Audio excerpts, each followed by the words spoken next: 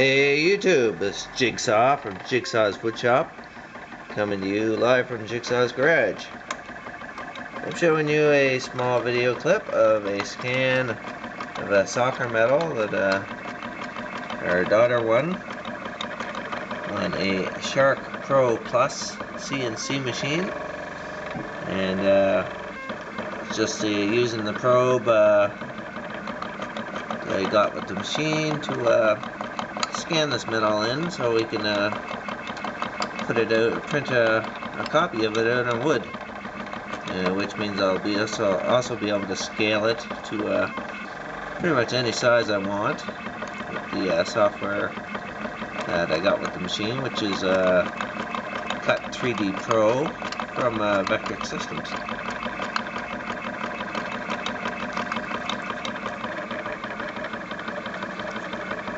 The uh, machine costs about uh, $5,000 along with the probe and extra bits. Uh, of course, there's some extra clamps and so on.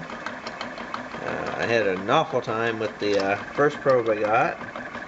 It ended up breaking on me. Uh, about $300 they cost.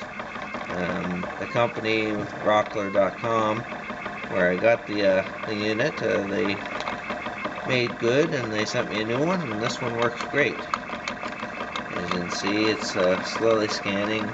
I've got it set for 1 100th of an inch for a step rate and I also have it set for 40 inches per minute for the velocity. So as you can see it can take quite a while to do this.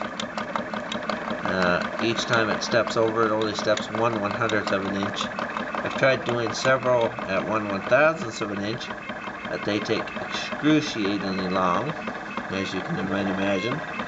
But um, depending on how uh, how good the quality you want, and I'll just show you. Uh,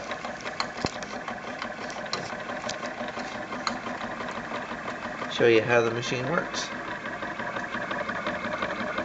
This is uh, pretty much the way that it goes. Uh, back and forth on the x-axis and uh, moves away from me on the y-axis. And it'll just continue scanning until it's completed the size that I've requested. And then I can uh, print it out onto wood later, and I can even resize it.